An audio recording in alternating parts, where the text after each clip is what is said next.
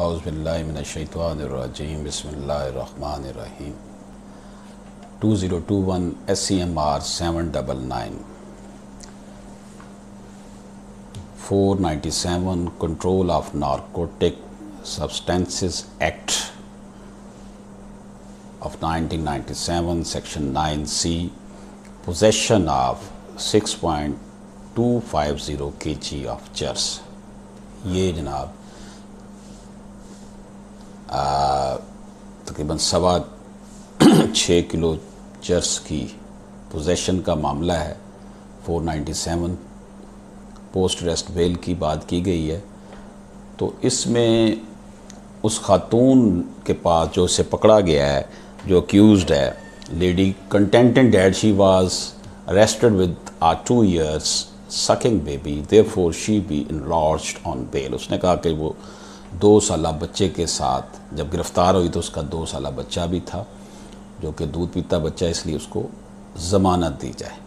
अदालत ने, supreme court of Pakistan ने करार दिया कि question of हजानत would come under constitution for grant of bail therefore before proceeding further the D N A test of the child बस be carried out so as to ascertain her age and relationship with the accused तो अदालत ने supreme court of Pakistan ने कहा कि ठीक है, पहले इसका करवाएँ डीएनए बच्चे का, खातून के साथ इसका रिश्ता साबित हो कि वाकई उसका और इसकी एज का भी पता चले कि वाकई ये सकिंग बेबी है या नहीं है।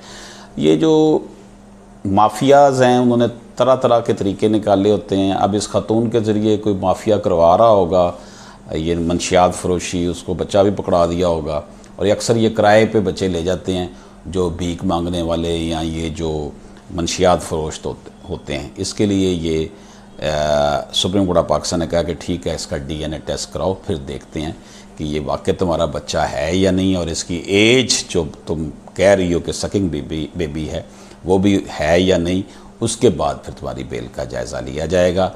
इसको नरेट किया गया है two zero two one S C M R seven double nine में। दोस्तों, आपसे गुजारिश है कि कोशिश हमें करनी चाहिए कि हम अपने इर्द गिर्द के लोगों का ख्याल रखें और आसानियाँ तकसीम करने वाले बने। इजाज़त दीजिए। अल्लाह हाफिज़।